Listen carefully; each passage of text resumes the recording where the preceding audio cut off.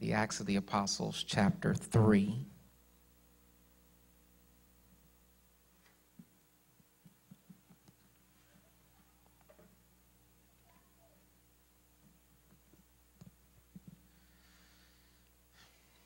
Amen. The Acts of the Apostles, chapter 3. And when you have that passage, I want you to respond by saying, I got it.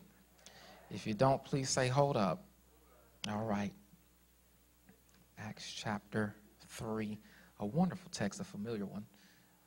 Um, that fifth book of the, the New Testament, book of Acts. Please rest on your feet, if you will, beginning at verse number 1.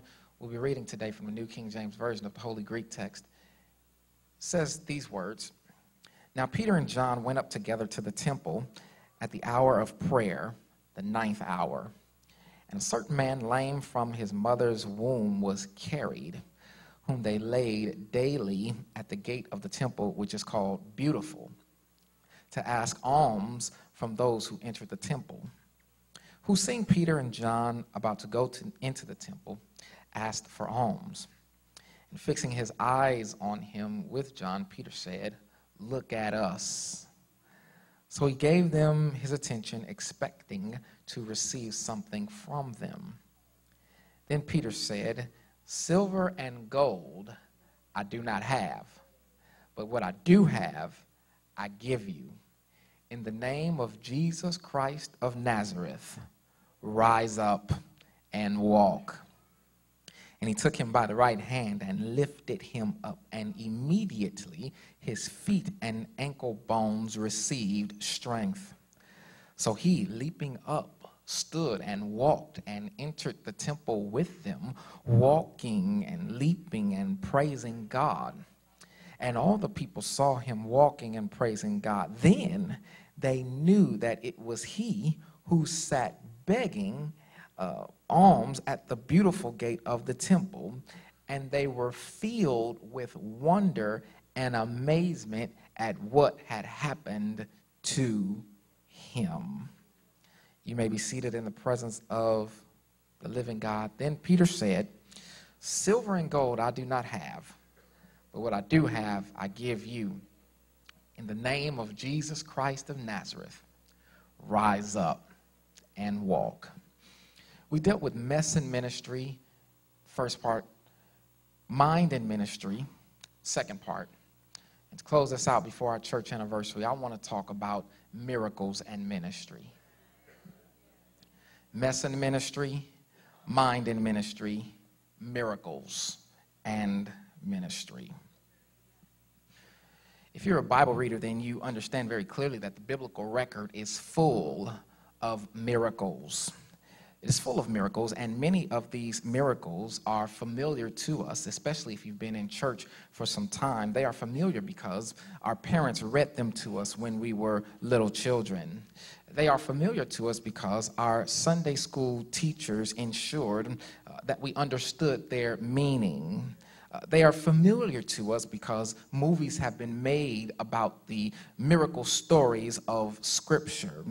Preachers throughout the years have descriptively presented to us these wonderful miracle narratives about how God moved uh, despite seemingly impossible conditions. I don't know about you, but reading these stories over the years and hearing them spoken of in pulpits throughout this country have led me to still believe in miracles. I'm at the point in my life where I don't care what anybody says or what anybody else thinks, I still believe in miracles. I believe in miracles, y'all. I believe in miracles because I read about a nation of people that were fleeing captivity, and on their journey towards liberation, they did not know where they were going. But in the Exodus account, we see that a pillar of cloud guided them by the day, and a flame of fire guided them by the night. Brothers and sisters, that was a miracle. Mm, and I don't care what anybody else says, I still believe in miracles despite the conditions that we see. I still believe in miracles. The interesting part about this particular story was that this pillar of cloud and this flame of fire that guided them by night took them literally to a dead end. It took them to a big body of water that was known as the Red Sea that literally blocked their procession from one place over to the other side. It was a crazy situation because Pharaoh's army was viciously following them and they were concerned about the situation. Nonetheless, God was not in the text finished doing miracles text tells us that Moses raised his staff and the Red Sea parted so that the children of Israel could proceed to the other side. And when they got to the other side, they looked back behind them and found that the Red Sea had drowned Pharaoh's army. I read this story and I came to the conclusion that this story is an example of a miracle. Uh, I still believe in miracles. I don't care what anybody else says, I don't care what conditions face us in this life, I still believe in miracles because I read a story about three Hebrew boys. Their names were Shadrach, Meshach, and Abednego. And the story says that King Nebuchadnezzar ordered them to bow down and worship the idols that were made. And if they chose not to worship, they would be thrown into a fiery furnace. But I love how these three boys responded to this king when he made this demand of them. They said, We have no need to answer you in this matter because our God is able to deliver us from this burning fiery furnace. But even if God decides not to deliver us from this furnace, we still refuse to bow down and worship this image. The text is interesting because it says that this comment that they made to the king infuriated him. It infuriated him to the point where he said, Turn up the fiery furnace seven times the normal heat. It was turned up so hot that scripture teaches us that the men that went to throw the young boys into the fiery furnace were consumed by the fire that came up out of it. Uh, this was an astonishing sequence of events because the king went to see what happened and uh, he says, I'm confused. I'm, I'm messed up. Uh, the, the fiery furnace is turned up seven times the normal heat, but I'm looking inside and these young men are not burning. And by the way, I thought we threw three men into the fire, but, but I see four in there, and one of them looks like the Son of God. Shadrach, Meshach, and Abednego were delivered from the fiery furnace. And when I read this, I came to the conclusion that this was an example of a miracle. I don't care what anybody says, I still believe in miracles. I don't care what the situation uh, that comes up in our life presents to us, I still believe that we serve a God of miracles. There was a man in Jerusalem, and he was lying by the pool of Bethesda. And the text tells us that all the invalids of the community were there. The, the blind were there, and the lame were there, and the paralyzed were there. And scripture teaches us that this man had been there for 38 years. And Jesus saw this man, realized he had been there for that long. He asked him, Do you want to be made whole? The man responded to Jesus by saying that I have no one to put me into the pool when the water is stirred up. And when I try to get in there by myself, someone else steps in before me. Jesus tells him these simple words. He says, Get up, get your bed, and walk. And the gospel, according to John chapter number five, tells us that this man was immediately healed. He took his bed and he walked. I read this story in John chapter five and came to the conclusion that this is an example of a miracle. I still believe in miracles. I don't care what nobody says, I don't care what situations come in our lives. I still believe in miracles because I read about a man who was going all over the place teaching in the synagogues. In fact, one day, the gospel according to Luke chapter 4 tells us that he goes in, he picks up the scroll of the prophet Isaiah and says these words The Spirit of the Lord is upon me, for he has anointed me to preach the gospel to the poor, to set at liberty those who have been bound, and to preach uh, the year of the Lord's favor. And I read about this man some more who went all over the region. There was a group of about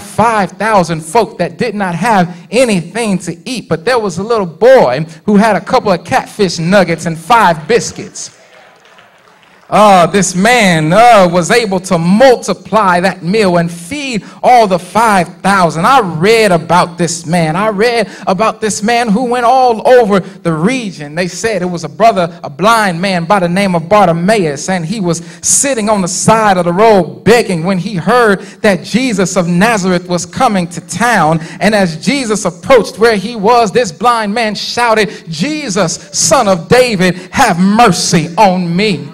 It was an interesting sequence of events because the people that were around him told him, Be quiet, shut up, don't bother Jesus, leave him alone. Uh, but the blind man ignored what the people were saying to him and he said, Jesus, son of David, have mercy on me. The old preacher used to say, The more they told him to shut up, the louder he got. Jesus, son of David, have mercy on me.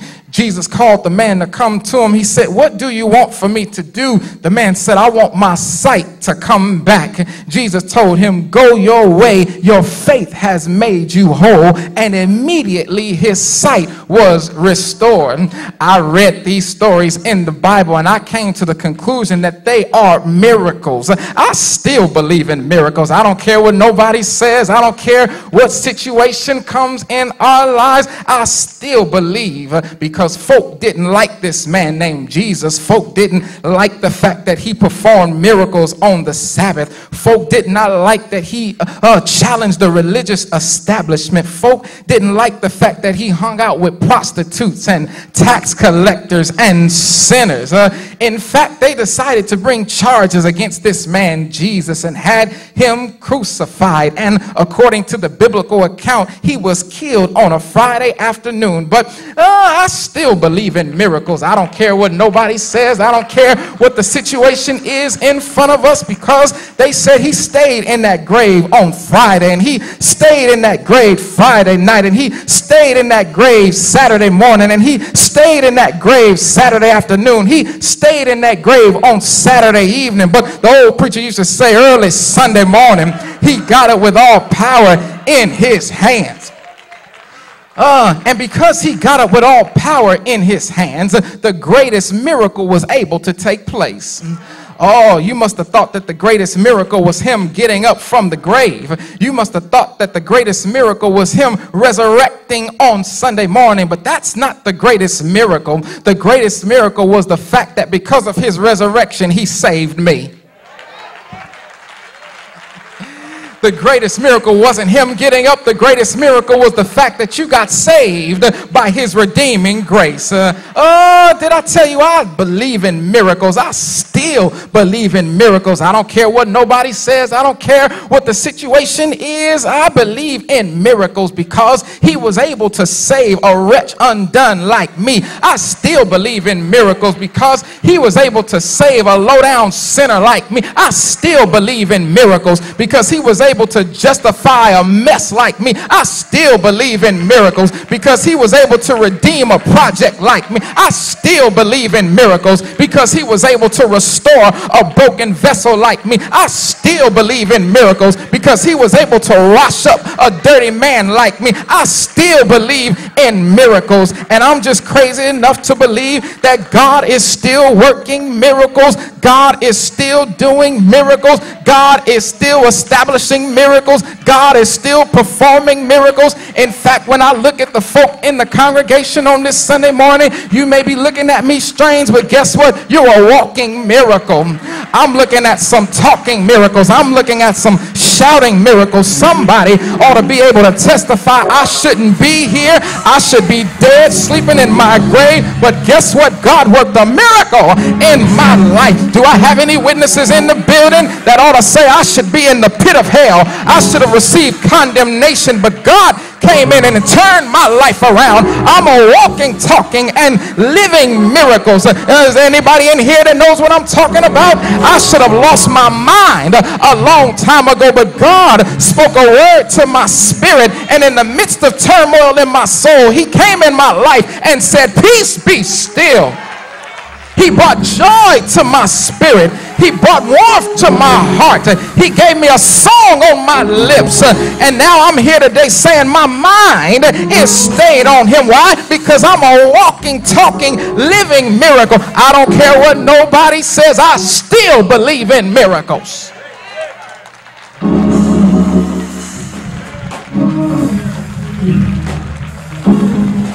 I, I got to talk about this thing because I believe that when the church gets mission minded and when the church begins to focus on the message and ministry of Jesus the Christ, we open ourselves up uh, uh, for miracles. Um, I can't tell you how I know this. I know this. I know this because I've seen when ministry meets people. I've seen when the gospel of Jesus Christ meets people. Uh, we celebrated on today because uh, I saw 12 folk get baptized. I've, I've seen drug addicts quit. I've seen alcoholics put the liquor bottle down. I've seen righteous folk come together, touch, and agree and pray that somebody's body be healed. And in the name of Jesus, God restores their health. I know that miracles can happen when Jesus is at the center. And that's because miracles and ministry go hand in hand. Miracles and the message of Jesus Christ go hand in hand. Can I go to Bible country with you this morning? Acts chapter 3 opens with, with Peter and John making their way to the temple for 3 p.m. prayer. Text tells us very clearly that there was a man there uh, that was lame from birth being carried to the temple. And the text says that every day he was carried and laid at the gate called beautiful for the sole purpose of him being able to ask for alms for all those who entered into the temple. Now, understand that this was not an uncommon practice for the least in society because uh, it is very clear that they could not take care of themselves. Uh, so they were allowed to beg for a living and to depend on the piety and kindness of other people for their survival. Mm, and this man sees Peter and John coming into the temple and immediately he asks them for alms. Uh, but Luke tells us that when the man asked, Peter looked intently intently at him and said these words, Look at us. When the man looked at them, he was still expecting to receive some alms from them. But Peter said to him these famous words. He says, Uh, uh, silver and gold I, I don't have, but, but, but what I do have, I give to you. In the name of Jesus Christ of Nazareth, rise up and walk. Bible says that, that Peter took the man by the right hand, raised him up, and immediately his ankles and his feet were made strong. Can I tell you, I love this story? I love this story because I still believe in miracles. I don't care what nobody else says. I don't care what condition we have to face. I still believe in miracles. And I love this story because it is a miracle story. But not only is it a miracle story, it is a miracle story that takes place in church. This miracle does not take place at the Jewish Community Center.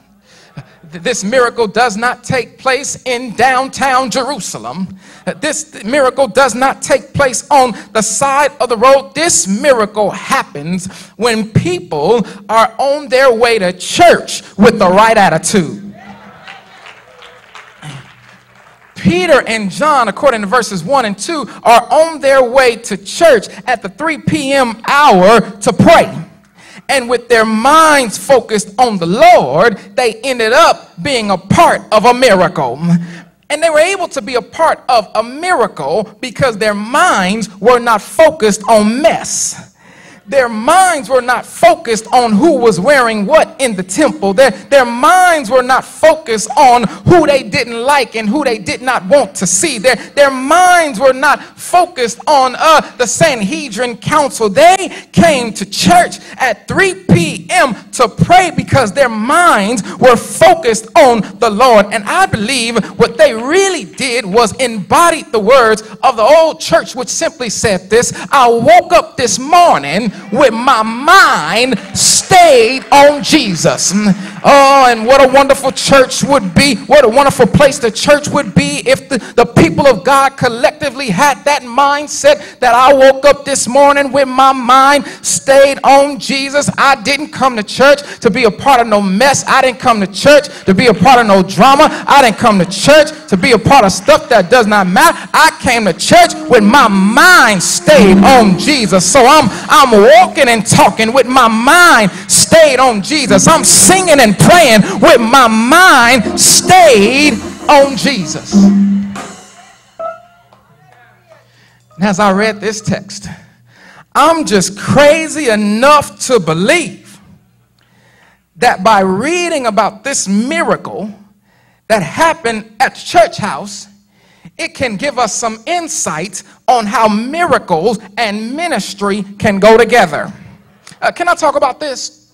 The book of Acts, the Acts of the Apostles, chapter 3, verse number 2, it says there was a lame man.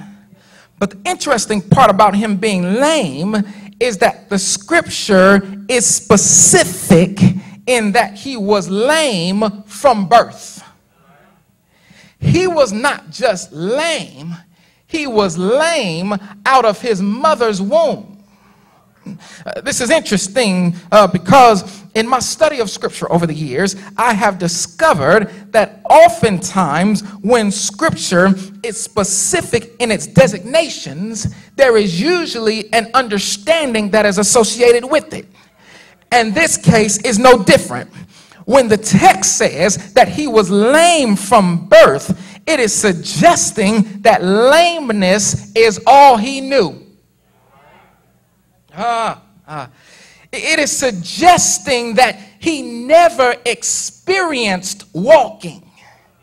Uh, it's saying that he was never able to run. He never experienced putting one step in front of the other. In other words, because he was lame from birth, what the text is saying is that permanency was associated with his condition. In other words, his lameness was a condition that was, is, and always will be. That's why Luke records this man at the gate of temple called Beautiful. It says that he was there every day begging because he and the people of his community had come to grips with the fact that this was this man's condition. He was lame. This is the way he was. This is the way he is. This is the way he always would be. But the powerful thing is that while he came to church to beg for money, he ended up leaving with the part of him changed that he thought would always be with him. He came to church to get a financial blessing, but he left with what he thought was a permanent condition being completely removed from his life. And it all happened because two men went to church with a mind to pray.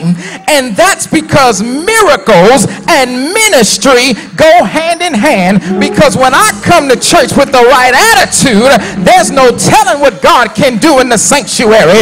When I come to church with the right mindset, there's no telling what God can do for somebody. Uh, uh, the Bible says when they were in the upper room, it says they were in uh, all on one accord. And when they were all on one accord, that's when the Holy Ghost came because it was a group of people that were together with the right can, can, I talk to you real quick? This thing blesses me. This thing blesses me. It, it blesses me because some of us in the building, we have been dealing with some conditions that have been seemingly permanent in our lives. we've been dealing with some stuff uh, that feels like it's a part of us, uh, it's gonna be a part of us, and it ain't going anywhere. And we've gotten to the point where we have accepted that this is how things are going to be. It's been this way, it is this way, it will always be this way. Uh, but I'm here on this Sunday morning able to shout hallelujah because when miracles and ministry comes together, there are things that are seemingly permanent that will be made loose. Uh, in other words, can I talk to you, child of God? I don't care how long you've been dealing with your situation. I don't care how long you've been dealing with your circumstance. God is still able to handle it. I don't care how strong that bind has been in your life. And I don't care how strong the chains have come around you. My Bible says, now unto him who is able. So I don't care if the situation seems strong. I don't care if the addiction seems too difficult. I don't care if the problem seems too too difficult, too hard. My Bible says that God is still able to perform miracles and God is still performing miracles in 2014. Miracles weren't just in the Bible. God is still doing some miracles in your life. He's still doing some miracles in my life. Things that I thought could not change are changing through the miracle working power of Jesus the Christ. You ought to look at somebody and tell them, I'm looking for a miracle. I'm expecting a miracle. I'm searching for a miracle.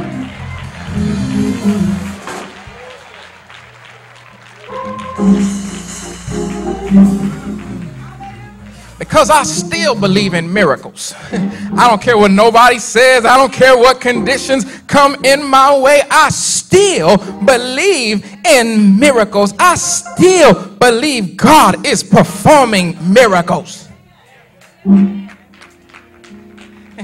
can I tell you what the church needs to do? The church needs to be mindful of what it has Sometimes folk come to church expecting the church to give them what they want. Now, now, now, yes, I, I believe the church is, is supposed to do its best to supply the needs of the people. I, I, I believe with all my heart that, that, that the church is supposed to best represent Jehovah Jireh, the one who provides. However, there is something that the church has that's more important than the benevolence fund. There's something that the, that the church has uh, that's more important than school supplies for the kids. Uh, there's something that the church has that's more important than the scholarships. Uh, there's something that the church has uh, that's more important than providing a place for your children to come. Uh, there's something that the church has that's more important than the food pantry. Uh, there's something that the church has that's more important uh, than the clothing station. Uh, there is something that the church has that, that Peter, when he said the man, said to the man, he said, I need you to look at me. He says, I don't have any silver or gold. However, what I do have is something that I can give to you. In the name of Jesus Christ of Nazareth, rise up and walk. Oh, somebody's missing this thing. Uh, uh, I love this part of the text because Peter was telling the man, Look, brother, I don't have any money to give you. He says, I don't have anything material to put in your hands. However, what I do have for you is something that's more valuable than money. What, what I do have for you is something that's more valuable than material things. Uh, what I have for you is something that you can't purchase on your own because it was purchased on a hill called Calvary through the through the blood of the lamb. He said, "I got the ministry of Jesus Christ." And because I've got the ministry of Jesus Christ, he says, "I got a miracle that's waiting for you." We family, right? Can, can I talk to you? We cool? Uh, the truth of the matter is, I don't need fame or fortune. I don't need riches untold. I'd rather have Jesus than silver and gold. Am I talking to anybody in the building? Somebody ought to touch yourself and say, It's not about Versace. It's not about Gucci. It's not about Louis Vuitton. It's not about the Benjamins. It's not about Lexus. It's not about Mercedes. It's not about BMW. It's not about Audi. When I look back over my life and I begin to think things over, I've come to the conclusion that as long as I've got Jesus, everything is going to be all right. Do I have a witness in the building? As long as I got the lily of the valley, as long as I got the bright and morning star, as long as I got Mary's baby, as long as I got the Prince of Peace, as long as I've got the King of Kings, as long as I got the Lord of Lords, as long as I got the everlasting Father, I know everything is going to be all right. I'd rather have Jesus.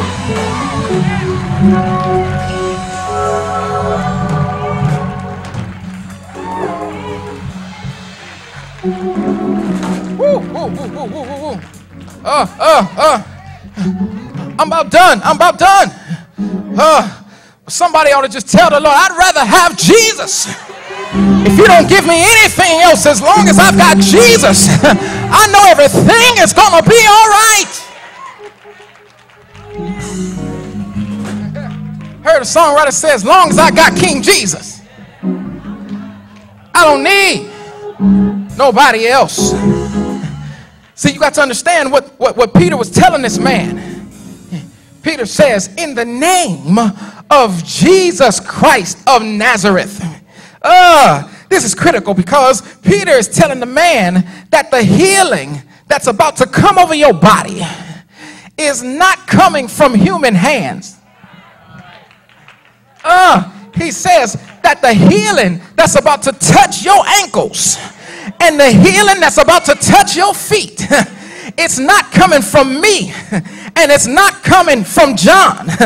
He says, I'm calling on the name of Jesus Christ of Nazareth uh, because in that day, a person's name was an extension of that person's being and personality.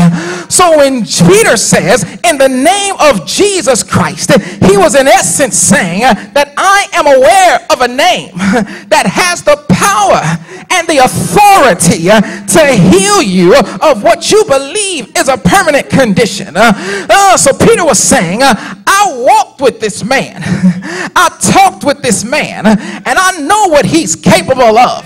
So I'm calling on a name that I know has the authority to do for you what you can't do for yourself. He says, I walked with this man uh, and I talked with this man. He says, I was there when they called him into the room and Lazarus had been dead for four days. And he said, Lazarus, uh, get up. I was there for the resurrection. He said, I was there when we were walking through the crowds, and, and there was a woman with an issue of blood who was on her knees trying to make her way through the crowd. And she said, If I could just touch the hem of his garment, everything was going to be all right. Uh, he said, I was there when folk were blinded, they were now able to see. He says, So I'm calling on that name. Uh, can, can I, can I? I'm not calling on Abraham. I'm not calling on Isaac. I'm not calling on Jacob. I'm not calling on Gideon. I'm not calling on Samson.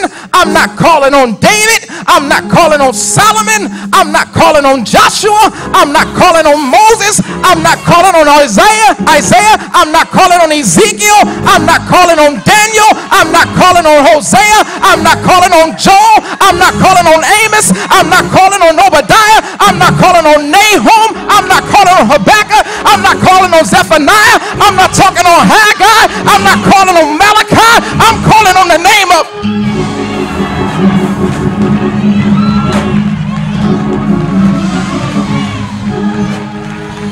Can I tell you why? Because there's power, power, wonder working power In the name of Jesus. Do I have a witness in the building? Demons tremble at the name of Jesus. There's salvation in the name of Jesus. There's deliverance in the name of Jesus. There's joy in the name of Jesus. There's healing in the name of Jesus. Oh, at the name of Jesus, every knee must bow and every tongue must confess that Jesus Christ is Lord. Do I have a witness in the building? There is a name that I love to hear. I love to sing its worth. It sounds like music in my ear. The sweetest name I know. Oh, oh, oh, oh how I love Jesus. Oh, how I love Jesus. I love him because he first loved me.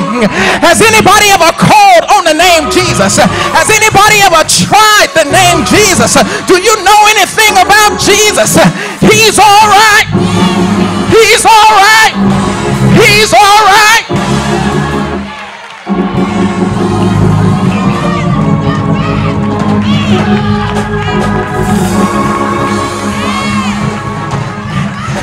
And the Bible says that when the man's ankles and his feet were healed, he started walking, he started leaping, and he started praising God.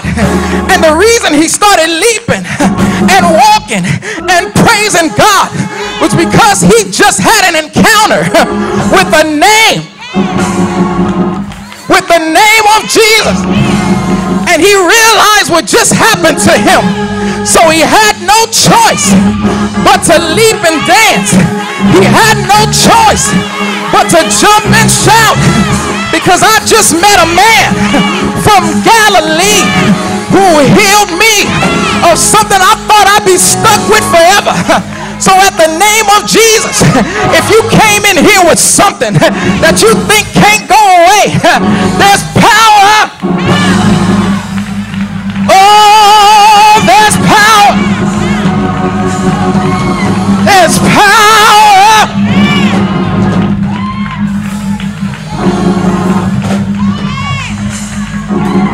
There's power.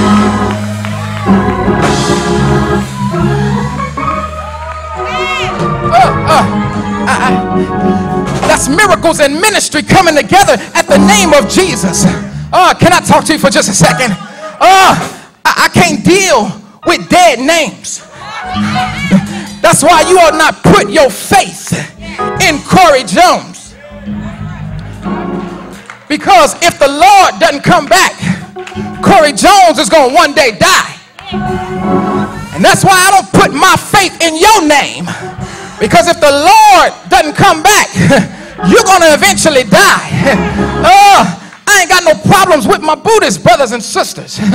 But I don't put my faith in Buddha because Buddha died. Uh, I ain't got no problem with my Confucian brothers and sisters. But guess what? Confucius died. I love what my brothers from Islam do for the community, but I can't put my faith in Muhammad because Muhammad died. But if you ask me who I put my faith in, put my faith in a man named Jesus. Because yes, he died on Friday. But guess what? Early on Sunday morning, he said, I'm standing up with all power and I'm declaring that I live. And because he lives, I can face my tomorrow. Because he lives, all my fears are gone. Because I know who holds my future. And life is where the living just!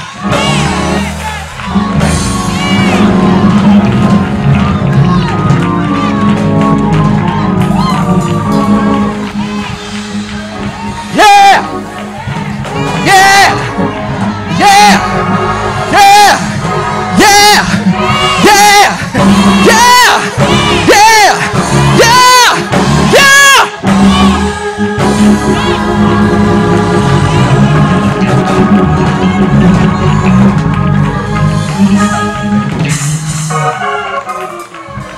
Oh, it's something about the name Jesus.